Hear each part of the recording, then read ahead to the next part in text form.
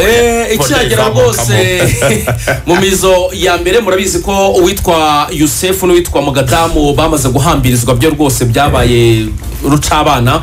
Eh, byararangiye. Hanyuma abagombaga gukurikiraho twari twababwiye ku rutonde nabo ni igihe gito kibura gusa twabwiye uwitwa ndekwe tubabwira uwitwa kanamugire roger. Ku rutonde rero haje no kwiyongeraho uwitwa ah, boneri muzamu biro biravugwa ko nawe isaha n'isaha agomba ko ushobora kuba yasohokamo. Hanyuma murabizi ko umuvandimwe eh, prince we yigiriye muri test muri eh, latvia byagenze gute yari yayikora se ngira ngo ni ugushaka amakuru tukamenya uko byagenze Eh, ni ugushaka amakuru ni ugushaka Riga, amakuru Riga yo muri Eh, Latvia. yo muri. Latvia. Imana izamufashe Ubwo rero urabona ni uko bimenye. bimeze hanyuma rero ah, abakinnyi bandi bagomba gusohokamo ariko bo basa nkaho batirukanwe niko nabivuga ni abakinnyi babiri twagiye tugarukaho cyane twababwiye uwitwa ojera uwo ni umwe byaramenyekanye ko agomba kugenda rwose amahirwe menshi mu kwa mbere. Undi ni karisa rashidi karisa rashidi ari gushakishwa ah, n'ikipe eh, yitwa al itihad tripoli. Iyo ni iya mbere. Yo muri libiya indi iri kumushakisha ni al nasiri sports club yandi yakinaga na esi kigali. Rashid aberewe no gukina hanze rashidi Aberewe no na gukina hanze. ojera rwose ni urucabana bagomba bagomba rashidi ngo ambasaderi ngo ni haruna nabonye abantu bose bahuriza ku muntu umwe umuntu witwa karisa rashidi umutoza wa rayon siporo uriya wagiye Zerfani. zerfani. Ba- babura abedi. Yarabwira ati mushakire umumediyateri mwiza kuko ndabona afite ikibazo muri disitiribisiyo ni ukuvuga gukura umupira hagati tuwujyana imbere. Baravuga bati umuntu ushobora kuboneka kandi udahenze kwasi kigali murabizi yari ifite ibibazo ni karisa bazana karisa karisa yakoze umwitozo umwe. Ngo ababaza ikibazo kimwe. Uyu mukinnyi ni umunyarwanda yari ahari ntimwamugura hakiri kare. Ngo dutangirane puresizoni ko yaje mu banyuma bati none se ko twumvaga tuzagura bedi bati mwakoze ibara. Bati uyu ni umukinnyi mwiza yakunze taye ye yakunze uburyo ngo afunga umupira akawutanga neza yakunze wakireti ye ku buryo yaje yaratinze gutangira imyitozo amushyiraho seshoni ebyiri z'imyitozo. Buriya yakoraga imyitozo n'abandi ariko akajyana n'imyitozo ekisitara muri jimu ye ku giti cye kugira ngo ahite agira fitinesi vuba. Karisa rero n'uyu mutoza wasimbuye rero.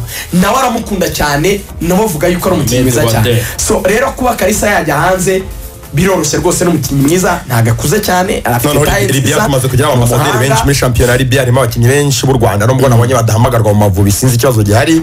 Ni shampiyona ikomeye ihagaze neza bakina ariko wenda uriya n'umutoza tugenda kujya ku mavubi wenda nuko atabazi turaza kubigarukaho. Ariko bayahamagaye nabo ntabazi si we wahamagaye? Nabyo babyibaza. ntabwo ari wahamagaye ko ntabwo abazi. bakoca muri sasa bakaba bamariye yego ntabwo ari wahamagaye ese we yahamagaye use azi umu- azi- nimureke dusoze ibyariyo ibya ngo reyo dutere duhereze indabyo ze ubundi tujye mu mavubi. Urebye na sare si byo ongera na ubwo bamubonye muri izi match bakiye eh turabo turaba twaranaye babwiye ama ibyerekeranye na na na n'izindi details z'amafaranga kuri kuri Kalisa Rashid ariko Gerard twari babwiye ko ari 180 eh. agomba gutangwaho hanyuma Rayon Sports gatwara mirongo itanu gatwara agatwara ikiyari nuko ikirari imyanya itatu yo kongeramo. Uboreye baravuga ngo ntacyo bidutwaye. Nitubona amafaranga meza dushaka mu bakinnyi. Tuzaba ari kure n'ubundi abakinnyi bahora bahari hanyuma muri iyo eh. myanya itatu isigaye bazabura kuvugwa ariko ko ushobora gusohoka nawe isaha n'isaha Eh. mu kwa mbere ahubwo ni gute ruvumba tuvuga ku mwanya wa mbere ariko bo baravuga yuko ngo bazazana rutayizamu bakazana n'umuhinga n'umumediyateri ndonke n'iriyo myanya n'ubundi ishobora kuvamo mu bakinnyi.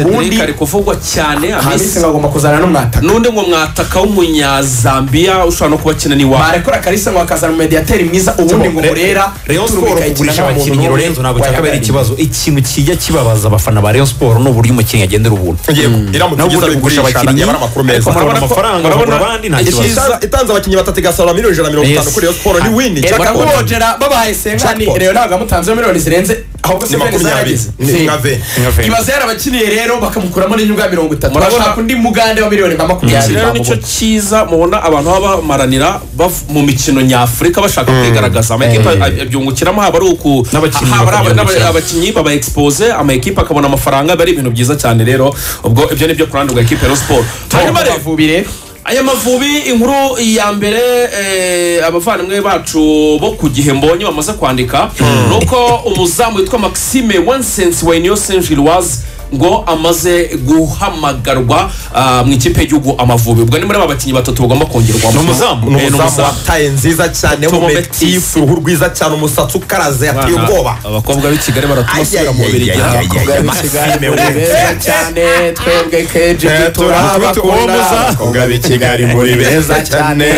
Ugakura arabakunda abakobwa b'i kigali muri beza cyane. Lorenzo nawe arabakunda abakobwa b'i kigali muri beza cyane gasore naho dukomere urumva tugende uwo muzamu se banza umubwire abantu se. Ni umuzamu ukina muri ekipe ni niyo umuzamu gutya. gilloise ni ikipe yo mu cyiciro cya mbere mu gihugu cy'ububirigi ahamagawe bwa mbere n'amavubi Ah, ni ubwa mbere ahamagawe mu mavubi. Ariko biru- makumyabiri n'umwe Eh, kandi makumyabiri arakina. n'umwe. Birumvikana dufite ikibazo mu izamu. Niyo senjuruwazi ntabwo ari ikipe isuzuguritse atansiyo tansiyo iri muri europa ligue na za liverpool zishwanyaguza niyo niyo mujya mubona bita imine yayo n'intuza ni gente. Oya ntabwo ariyo iriya genti ni ragantoise. Iragantoise mm. yesi iyo senjuruwazi niyo senjuruwaze ni ekipe y'ubwami ni ekipe ni ya ekipe ifite aba onazi banafite brighton and hove albion ikinamo murumuna wa ikinamo mukuru wa mukuru wa makalista.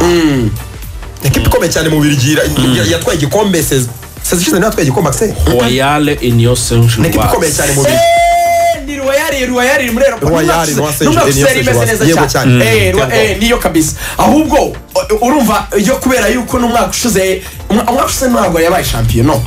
Umwaka ushize shampiyona yabaye ntabwo ari yari yakinagamo mbona arisa amatara genke. Shampiyona belgique si genke. Kuko urumva ibaye iri reka turebe. Genke 2022 niyo sezishize 2023 2022 2023 kuko urumva niyo sezi ishize hari undi mukinnyi baza kongeraho mu gihe barimo gushaka aka tubanze tuvuge uyu. Uyu mukinnyi ni ingenzi cyane bakomeje kugenda Oya, babigira. uyu ni umukinnyi kugenda wavutse bibiri afite imyaka makumyabiri n'umwe. Eh, bakomeje kugenda bamugira ibanga. Ni ngo ubwo ni ukuvuga ngo hasigaye babiri. Kuko baravuze ko ngo bashobora kongeramo abakinnyi batatu. Eh, eh, ubwo ni ukuvuga ngo umwe arabonetse hasigaye babiri. Eh, ubwo nabo bazagenda babatubwira mu izamu twari dufite ikibazo. Ni ukuvuga ngo twari dufite fiacre ni we uhagaze neza ni we ugomba kuzabanza mu izamu ariko abandi haba muhawe na yogad Gad. ni ni ni ni ni ni ni club brugge na jihad. Ni club brugge na- nzeri rwanda jihad. Nyine na- ni abazamu be- beza bafite bari gupafominga neza muri shampiyona yacu y'icyiciro cya mbere hano uh, mu rwanda.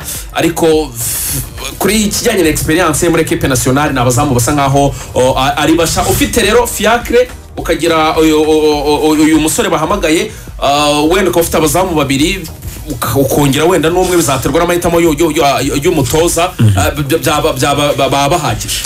Uyu muzamu rero eh, tutaramuvaho mm. ikipe ye yabaye ya gatatu sezi ishize. Sezi ishize ni ukuvuga ngo royal antwerp yatwaye igikombe eh, genk irayikurikira inyo senje wazi ya mhm. gatatu. Niyo mpamvu iri muri ero parike iri muri conference league.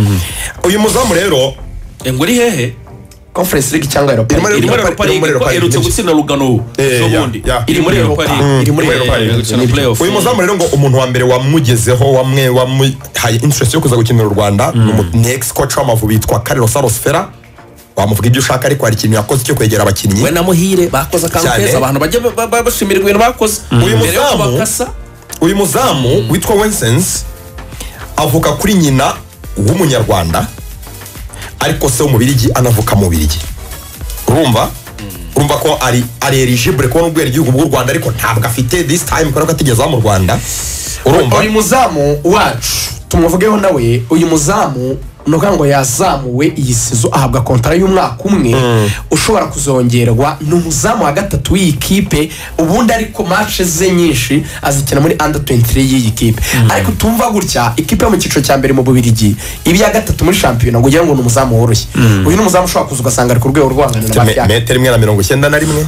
Mu rwego rwiza cyane. Afite taye nziza cyane. Yego. Uwo ni muzamu